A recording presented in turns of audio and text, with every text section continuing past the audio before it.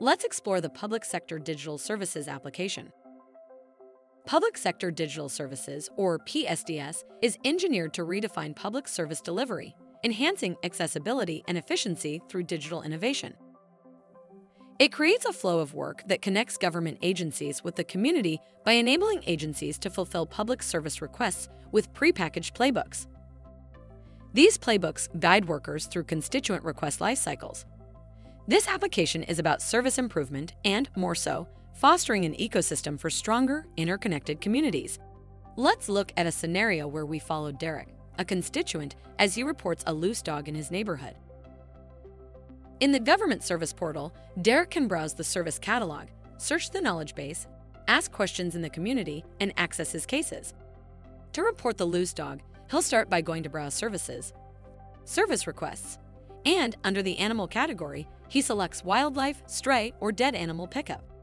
He inputs the location information and the details of the request. His household is already populated because he's a registered user. After attaching any necessary documents, Derek selects Submit. A case is now opened, which Derek can monitor until resolution. Now let's see how an intake agent, Abel Tuter, processes Derek's case. The agent accesses Derek's case through the Service request Playbook. The first activity of the intake stage is auto-completed thanks to Derek's submission. The agent reviews the case details, ensuring no information is missing. They can also search for similar cases to expedite resolution. Everything looks good, so the agent selects Submit to progress the case in the playbook. Next, the agent assigns the case to themselves and moves it to the review stage. Here, they can request an inspection if necessary. When the inspection details are logged, the case progresses outside the playbook, perhaps to a field service or animal control agent.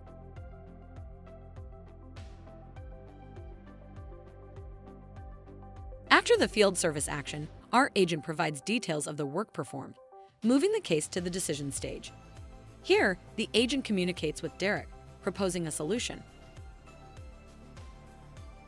Derek returns to the portal to find the case resolved, the loose dog safely managed.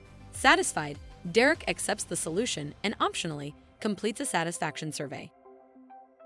This is just one example of how the PSDS application connects government agencies with the community, solving important citizen concerns like Derek's.